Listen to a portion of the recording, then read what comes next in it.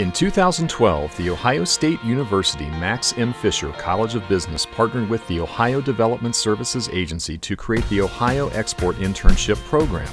Supported by funding from the U.S. Department of Education, the program pairs undergraduate students with companies across the state, training a global workforce, growing export sales, and creating jobs right here in Ohio.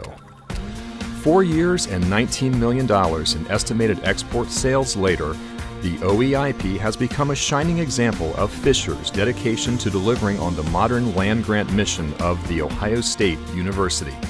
Since its inception, the program has expanded to include 145 students from 12 colleges and universities across the state.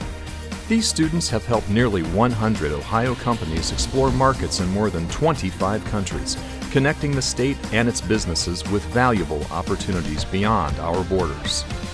Students gain valuable hands-on opportunities managing global projects, which helps differentiate them from their peers. In fact, 17 students have received job offers from OEIP companies, making the program a true win-win. Together with our partners, the Ohio Export Internship Program is fulfilling its mission of connecting globally trained students with opportunities to build and grow Ohio's companies.